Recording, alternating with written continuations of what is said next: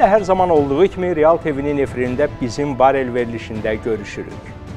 Artıq yazın ikinci ayındayıq. Təbiət sərt keçən qışdan sonra oyanmaqda, əhali isə postpandemiya dövrünə köklənib. Həqiqətən çox üzücü keçir bu COVID-19 pandemiyası dövrü. Hələ bilmək də olmur ki, onun hansı fazasındasan və sonu hardadır. Kimi koronavirusun ikinci, kimi üçüncü dalğasını yaşayır. Azərbaycanda bu dalğanın sayı açıqlanmasa da, həftə ərzində yoluxma saylarına görə 2000 həddini keçən nəticələr göstərdik.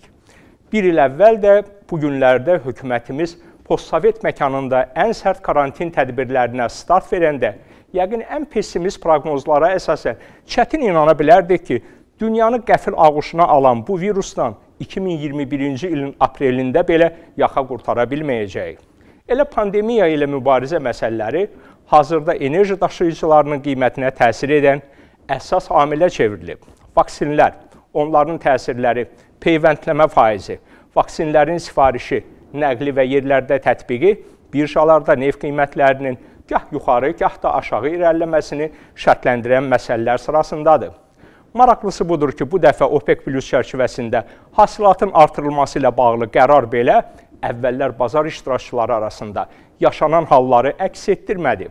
Yəni neft ucuzlaşmaq əvəzinə bahalaşmağa meyl etdi. Səbəbini indi izah etmək bir xeyli vaxt aparacaq. Ona görə də bir qədər sonra detallı təhlil edəcəm. Hələlik isə keçid edək xəbər axınına. Görək yola saldığımız həftə ərzində neftimiz ətrafında nə kimi yadda qalan hadisələr baş verib. Azərbaycan Dövlət Neft Şirkəti 2021-ci ilin birinci rübündə Rusiya ərazisindən keçməklə 169.450 ton neft ixrac edib. Bu haqda Rusiya Energetika Nazirliyi yanında Yanacaq Enerji Kompleksinin Mərkəzi Dispeçer İdarəsi məlumat yayıb. Məlumatda bildirilir ki, mart ayında Bakı-Novorosiysk neft kəməri üzrə 169,3 min ton Azərbaycan nefti daşınıb. Ötən ilin yanvar-mart ayları üzrə müqayisədə Azərbaycan neftinin Rusiya terminalı üzərindən dünya bazarlarına çıxarılması 5,7 dəfə artıb. Qeyd edək ki, Azərbaycan Novorosiysk istiqamətində əsasən əməliyyat şirkətləri və birgə müəssisələrin quruda hasil etdikləri neft həcmlərini ixrac edir. Koronavirus pandemiyası ilə bağlı Türkiyədə də təyyarə yanacağına tələbat kəskin azalmasına baxmayaraq, Azərbaycana məxsus Star neft ayırma zavodu atdığı çevik addımlar hesabına yanacaq məhsulunun artımına malik olub. Belə ki, Star neft emalı zavodunun malik olduğu müasir texnoloji avadanlıq sayəsində reaktiv yanacaq istehsalını 100% dizel yanacağı istehsalı ilə əvəzləmək mümkün olub. Bu dəyişikliyin sayəsində illik planlaşdırılan 4,6 milyon ton dizel yanacağı istehsalı 6 milyon tona qədər artırılıb. Nəticədə 2020-ci ilin yekunlarına görə Türkiyənin dizel olan tələbatının 25 faizi Azərbaycan Dövlət Neft Şirkətinə məxsus Star zavodu tərəfindən qarşılanıb. Beləliklə, neft aləminin bu həftə kökləndiyi əsas xəbər OPEC Plus çərçivəsində qəbul ediləcək qərar idi. Çünki bir ildən çoxdur ki, məhz bu qərarların qlobal neft bazarlarına necə təsir etdiyini müşahidə edirik. Yəni, mübaliğəsiz deyə bilərik ki, bazar iştirakçıları OPEC və ona dəstək olan daha 10 neft hasilatçı ölkənin çıxaracağı qərara necə həssas yanaşırlar. Və cümə axşamı Bakı vaxtı ilə təqribən saat 20 radələrində məlum oldu ki, fevral ayından artımı dondurulan neft hasilatı artıq bu dəfə yerində saymayacaq, qalxacaq bazar iştirakçılarının münasibəti bayaq dediyim kimi çox qəribə oldu. Rəsmi qərarlardan əvvəl informasiya agentliklərinin öz mənbələrinə anonim şəkildə istinadən hasilatın artırılacağına dair xəbərləri yayılan zaman neft qiymətləri hərraçlarda eniş nümayiş etdirdilər və Brent markalı neftin partiyası minimumda 62 dollar 45 sentə satıldı. Ancaq elə ki, OPEC Plusun qərarı təsdiqini tapdı və hasilatçı ölkə nazirlərinə istinadən məlumatlar xəbər lentlərində yer almağa başladı, neft qiymətləri istiqamətini dəyişərək artıma keçdi və Bakı vaxtı ilə saat 22 radələrində 3,1% artım nümayiş etdirərək günlük ticarətin zirvə nöqtəsinə çatdı. 65 dollar 16 sent. Nədən özünü belə aparırdı bazar? Qiymətlərin birdən-birə dəyişməsinə təsir edən nə idi? Bunların cavabı OPEC Plus ölkələri energetika və neft nazirlərinin 15-ci iclasının gedişatı ilə məlumatlardan qaynaqlanırdı. Elə isə video formatda keçirilən iclası izləyək. İlkin olaraq görüş iştirakçıları mövcud kvotaların may ayında da saxlanması təklifi üzərində dayanmışdılar və məqsəd ondan ibarət idi ki, mümkün qədər neft ehtiyatlarının azalmasına nail olunsun ki, sonradan həm koronavirus pandemiyasının təsirlərindən uzaqlaşdıqca neft artan tələbatla neft hasilatının istehsal göstəricilərini artırması arasında bir balans yaransın. Yəni bazara edilən təklif tələblə qarşılana bilsin və nəticədə neftin ədalətli qiyməti 55-60 dollar dəhlizi öz mövqelərini itirməsin. Siz elə bilməyin ki, hazırda bazarda olan qiymət normaldır və bazar iştirakçıları onun artımı üçün səylər göstərirlər. Xeyr, heç də belə deyil. Neftin 60 plus qiyməti neft məhsullarının da qiymətinin artımına gətirib çıxarıb. Özü də neft hasilatçı ölkələrində belə və bunun iqtisadiyyatın digər sektorlarına təsiri nəticəsində inflyasiyanın sürətlənməsi hökumətləri narahat etməyə başlayıb misal kimi Rusiyanı göstərmək mümkündür. O cümlədən bu həftə SOKAR-ın SOKAR Türkiyə Emal və Neft Kimya İşbirliyinin rəhbəri və Petkimin baş direktoru Anar Məmmədov Anadolu Agentliyinə neft kimya fəaliyyəti üçün sağlam qiymət dəhlizinin məhz 50-60 dollar arasında olduğunu açıqlayıb. Yəni ucuz neft də bazar üçün riskdir, elə bahalı neft də müəyyən baş ağrısı gətirir. Buna görə də Səudiyyə Ərəbistanının enerji naziri Şahzadə Əbdüləziz bin Salman OPEC Plus Nazirləri Monitorinq Komitəsinin iclasındakı açılış nitqi zamanı bildirib ki, OPEC Plus formatının iştirakçı ölkələri tərəfindən son aylar yeridilən təmkinli siyasət özünü doğruldub və bu cür çevik addımlar qarşıdakı dövrdə də davam etdirilməlidir. Qarşıdakı həftələrə gəlincə eyni diqqətli yanaşmamızı qoruyub saxlamalıyıq. Bazarın dirçəlməsinə dair qəti dəlillər ortaya çıxana dək ehtiyatlı mövqeyimizdə qalmalıyıq, deyə Səudiyyəli nazir vurğulayıb. Nəticədə dünən axşam çıxarılan yekun qərar belə oldu ki, OPEC plus hasilatı tədricən artırmaq yolu tutur. May ayında gündəlik hasilat 350 min barel, iyunda da eyni həcmdə və yalnız iyulda 450 min barel artırılır. Yəni 3 ay ərzində OPEC plus çərçivəsində gündəlik hasilat aprellə müqayisədə 1 milyon 150 min barel artıma getməlidir.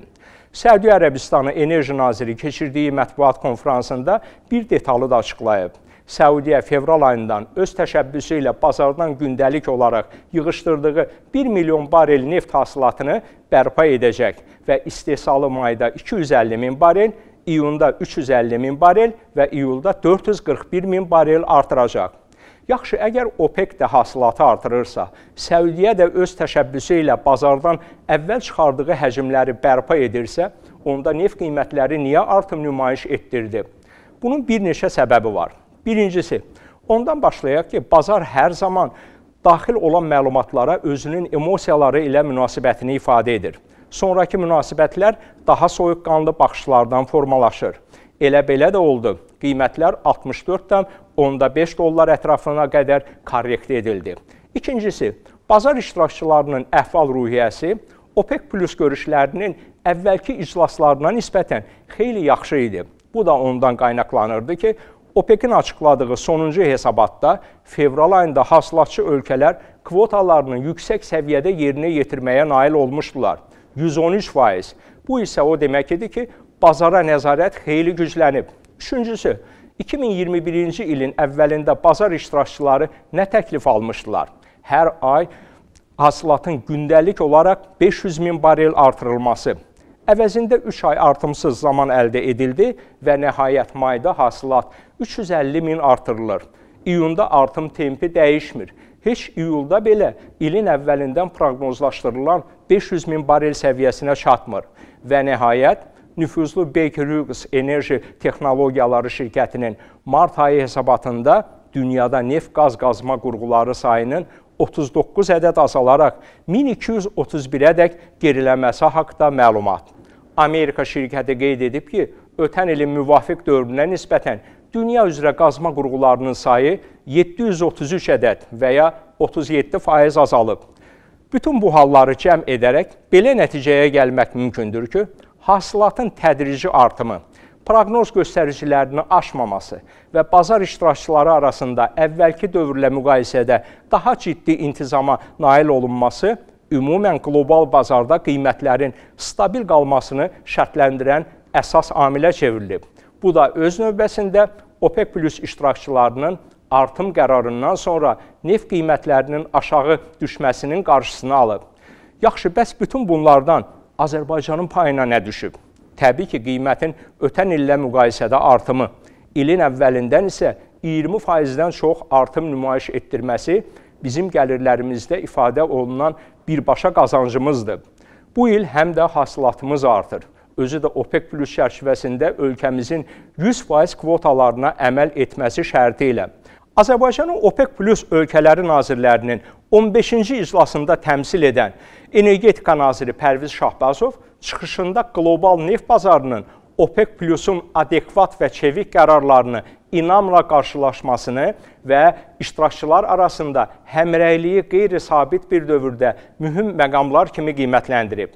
Nazir təmzimləmə tədbirlərində düşünülmüş ehtiyatlı davranışın və bütün inkişaf ssenarilərinin nəzərə alınmasının vacibliyini vurğulayıb. Bizim üçün əsas məqsəd neft bazarında ümumi mənafəyə xidmət edən tarazlığın əldə edilməsidir. Hesab edirəm ki, OPEC Plus-un bu dəfəki qərarı da bazar dinamikasının balanslaşdırılması səylərinə töhfə verəcək, deyə Şahbazov bəyan edib. Yəni, Azərbaycan gündəlik xam neft hasilatının növbəti 3 ay ərzində tədricən 1,1 milyon barelədək artırılması ilə bağlı qəbul edilmiş qərarı dəstəkləyib. Nəticədə Azərbaycan gündəlik xam neft hasilatını mayda 8 min barel, iyunda 7 min barel, iyulda isə 10 min barel artıracaq. Beləliklə, Azərbaycanın yeni hasilat öhdəlikləri mayda 603 min barel, iyunda 610 min barel və iyulda 620 min barel həcmində müəyyənləşdirilmişdir. İndiki öhdəliyimiz isə gündə 595 min bareldir. Deməli, nə az, nə çox, təkcə gündəlik neft hasilatımızı iyulda indiki göstəricilərimizdən 25 min barel artırmaq imkanı əldə edirik. Ancaq neftdən əlavə biz həmçinin qaz yataqlarından həm də maye karbohidrogen, kondensat da hasil edirik. Son məlumata görə fevralda gündəlik olaraq 148 min barel kondensat hasilatına malik idik. Bir sözlə OPEC və ona dəstək verən digər hasilatçı şirkətlərin işbirliyi dünya iqtisadiyyatında yaranmış force major hallarında bazarı tənzimləmək üçün çox yaxşı bir müstəvi olduğunu artıq təsdiqləyib. Bilməyənlərə isə xatırladım ki, dünya neft bazarlarının sabitləşdirilməsi məqsədi ilə OPEC və təşkilata daxil olmayan neft ölkələri arasında koordinasiyalı fəaliyyətə əsaslanan OPEC Plus formatının yaradılması təşəbbüsü məhz Azərbaycan prezidenti cənab İlham Əliyev tərəfindən 2016-cı ilin yanvarında Davos forumunda irəli sürülmüşdü. Neft qiymətlərinin ümumən cari ilin ilk rübündə 60 dollar həddində qalması məncə iqtisadiyyatı neftə bağlı olan ölkələr, o cümlədən Azərbaycan üçün pozitiv bir xəbərdir. Çünki büdcəmizin neftin ixrac qiymətinin ortalama 40 dollardan proqnozlaşdırıldığını nəzərə alsaq və ilk rübdə 50% artımla bunun icrasını həyata keçirməyimiz hökumətin növbəti rüblər üçün manevr imkanlarını daha da genişləndirir və ötən ilin proqnozlaşdırıla bilinməyən 4,3 faizlik çökməsindən sonra daha yüksək templə dikəlməyə imkan açır. Elə iqtisadi inkişafımızla bağlı beynəlxalq maliyyə qurumlarının proqnozları da maraq doğurmaya bilməz. Dünya Bankı 2021-ci və 2022-ci illərdə Azərbaycanda iqtisadi artımın 2,8 və 3,9 faiz səviyyəsində gözləyir. Bu qiymətləndirmə Dünya Bankının Avropa və Mərkəzi Asiya regionu üzrə iqtisadi hesabatında yer alıb. Qeyd edək ki, Azərbaycan İqtisadiyyat Nazirliyinin proqnozlarına əsasən 2021-ci ildə ölkədə ümumi daxilə məhsulun artımı 3,4% təşkil edəcək. Öz növbəsində Avropa Yenidən Qurma və İnkişaf Bankı 2021-ci ildə Azərbaycanda ÜDM-in artımına daha ehtiyatla yanaşır və bunu 2% səviyyəsində proqnozlaşdırır. Nədən beynəlxalq maliyyə institutları Azərbaycanın iqtisadi inkişafı ilə bağlı proqnozlarda hökumətlə müqayisədə daha aşağı göstəricilərə meyillidirlər? Yenə də burada neft amili məsələ var. Soruşa bilərsiniz ki, axı neft qiymətləri artır. Bəli, bu belədir. Ancaq iş burasındadır ki, neft qiymətlərinin bu artımı artıq bizim əvvəlki illərdə bu qiymətə nail olduğumuz yüksəlişi təmin edə bilmir. 5 il öncə neftin 41,9 dolları zamanı Azərbaycan iqtisadiyyatı 3,1% çökmüşdüsə, ötən il 43 dollar qiymətində bu göstərici 4,3% oldu. 2016-cı ildə Azərbaycan 41 milyon 50 min ton neft və kondensat hasil etmişdisə, 2020-ci ildə bu göstərici 34,58 milyon tona qədər azalmışdı. Eləcə də əgər böhrandan əvvəl 2019-cu ildə 2,2% artıma nail olmaq üçün 37,5 milyon ton neft ortalama 64 dollar səviyyəsində satmaq hesabına əldə edilmişdisə, cari ildə neftin daha az həcmində yüksək nəticələrə nail olmaq elə də asan məsələ deyil. Dövlət Statistika Komitəsinin məlumatlarına görə 2021-ci ilin yanvar-fevralında Azərbaycan iqtisadiyyatı artım nümayiş etdirə bilməyib. İqtisadi enmə 3,2% təşkil edib. Əmtəlik neft hasilatı 4,9%, neft məhsulları isə 17,9% azalıb. Baxmayaraq ki, qaz hasilatında 9%-dən çox artıma nail olunub. Yenə rəsmi statistikaya müraciət etsək, 2021-ci ilin yanvar ayında muzlu işçilərin orta aylıq nominal əmək haqqı 2020-ci ilin yanvar ayına nisbətən 3% azalaraq 690 manat 90 qəpik təşkil edib. Yəni bir sözlə əlimizdə olan enerji dəyər ifadəsində artıq əvvəlki iqtisadi yüksəlişimizi təmin etməyə yetərli deyil. Buna görə də təklif edilir ki, iqtisadi islahatlar daha da dərinləşdirilsin, neftdən kənar iqtisadiyyatın imkanları artırılsın. Çünki neft sektoru kapital yönümlü və həddən ziyadə gəlir gətirən sahə olsa belə, orada çalışanların sayı çox azdır. Muzla çalışanların cəmi 2,5%-nə belə çatmır. Ona görə də neftdən kənar iqtisadiyyatda cəlbedici biznes mühiti formalaşdırıldığı təqdirdə bu sahəyə xeyli sayda əmək qüvvəsi cəlb oluna bilər. Onların əlavə dəyər yaratmaq imkanları da bir o qədər çoxalmış olur. Nəticədə həm dövlətin sosial yükü azalar, həm də iqtisadi inkişaf məsələsində xam mala bağlılıq hökumət qarşısında vacib məsələ kimi durmaz. Dünya Bankının qiymətləndirmələrinə görə orta müddətli dövrdə Azərbaycan iqtisadiyyatının artımı üçün neft qiymətinin stabilləşməsi, həmçinin Qarabağın bərpasına sərmayələr müsbət amillərdir. Həmçinin Dünya Bankı hesab edir ki, aşağı tempdə vaksinasiya, neft hasilatının planlaşdırılandan daha zəif artırılması Azərbaycanda ÜDM-in artım templərini əngəlləyə bilər. Ona görə də Dünya Bankı Azərbaycan iqtisadiyyatının bərpasını tədricən proqnozlaşdırır. ÜDM-in həcminin 2022-ci ilin sonuna Covid öncəsi səviyyəyə qayıdacağını ehtimal edir. Yəni yuxarıda sadalananlar Azərbaycan iqtisadiyyatı üçün mümkün risklərdir. Lakin neft fondunda toplanan ehtiyatlar, hansılar ki 43 milyard dollardan bir qədər çox olmaqla ÜDM-in həcmindən belə artıqdır. Ölkə iqtisadiyyatını geosiyasi risklər də daxil olmaqla digər mənfi təzahürlərdən sığortalamağa qadirdir, deyə Dünya Bankı qeyd edir. Azərbaycan Dövlət Neft Fondu isə 2021-ci ilin mart ayında valyuta hərraclarında 397,7 milyon məbləğində xarici valyuta satıb.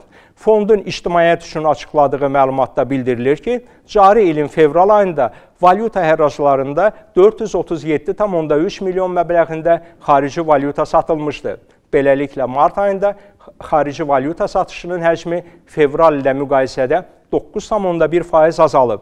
Ümumilikdə isə 2021-ci ilin ilk rübündə neft fondu valyuta hərraclarında 1 milyard 479,9 milyon dollar vəsait satıb.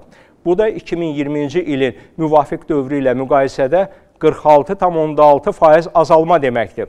Kəskin azalma onunla izah edilir ki, Ardenef valyuta bazarında vəziyyətin stabilləşməsi və neft qiymətinin kəskin uzlaşması şəraitində milli valyutanın devalvasiyasına yol verilməməsi məqsədilə 2020-ci ilin mart ayında valyuta ərazlarında böyük məbləğdə valyuta 1 milyard 928,3 milyon dollar satmışdı.